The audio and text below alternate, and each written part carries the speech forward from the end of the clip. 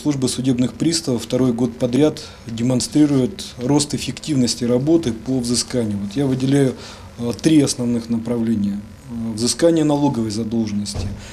Э, Рост поступлений, денежных поступлений в городской бюджет составил 40% по итогам 6 месяцев. Взыскано 128 миллионов рублей по исполнительным производствам.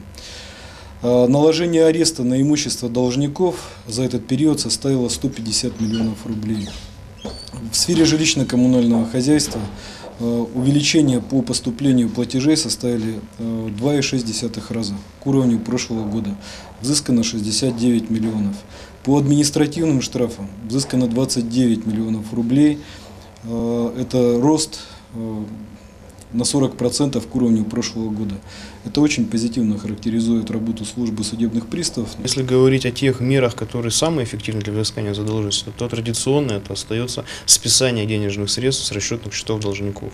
На сегодняшний день практически 50-60% всех должников физических лиц имеют зарплатные карты, имеют расчетные счета в банках, иных кредитных учреждениях, с которыми пристав, благодаря активному взаимодействию с банков и при поддержке мэрии Череповца, мы это взаимодействие с банками выстроили, не вставая со своего рабочего места, может списывать денежные средства нажатием одной-двух кнопок прямо с расчетного счета должника.